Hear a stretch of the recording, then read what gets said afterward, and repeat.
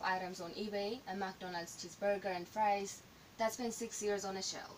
Dave Alexander posted a listing on the auction website for the six-year-old burger and fries, which he said were never eaten or never refrigerated. Alexander told CBC Radio, as it happens program, the fries are stunningly good looking.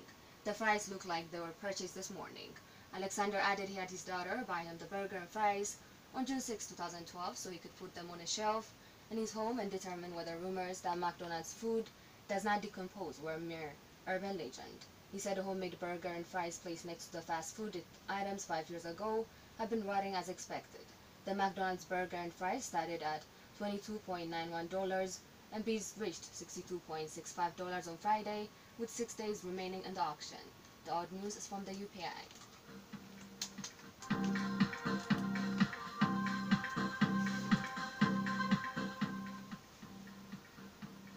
I'm Kidist Yidnekachew with afternoon news for July 7, 2018. You can reach us through our SMS line 8444 or email us at info at afro105fm.com. Thank you for choosing 105.3 Afro FM as your news and entertainment station. Coming up next is the Afro Days with Kiram Taddasa.